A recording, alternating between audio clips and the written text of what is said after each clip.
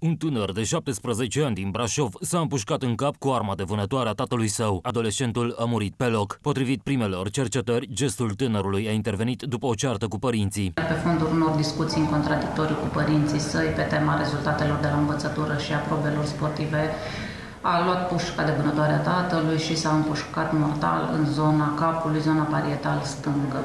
Cadavrul a fost uh, transportat la Serviciul Județean de Medicină Legală în vederea efectuării necropsiei și stabilirii cauzei reale a decesului.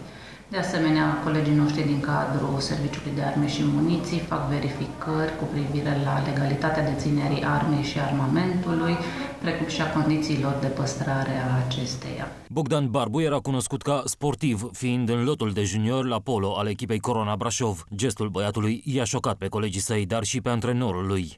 Bogdan a ieșit uh, cel mai tehnic jucător, un component de bază al echipei titular, juca în 7, o pierdere uh, imensă pentru uh, noi, atât ca și coleg, ca și parte din echipă.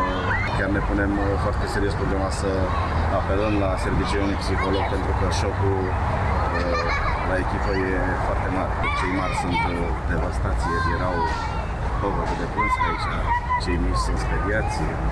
Și dumneavoastră poate vă e greu să Mă afectează foarte tare pentru că efectiv sunt, petrecem ore bune cu copiii ăștia în fiecare zi și suntem ca, ca o familie.